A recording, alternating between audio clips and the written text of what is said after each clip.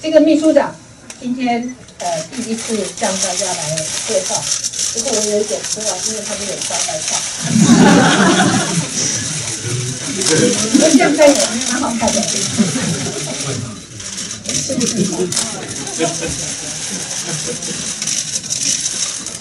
要服大家都很熟悉，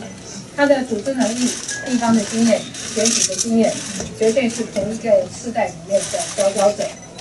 要服出任秘书长，意味着民进党的中壮世代已经做好全面接班的准备。将来无论是政策部门对于政府和国会的资源，组织部门、民调部门跟舆情部门对于地方民意的反应，都需要两张交服的专业来承担。我要告诉政府，你的责任重大，你的表现代表了民进党中壮世代能力的展现，也将会决定民进党是不是一个能够成为让台湾最强的政党。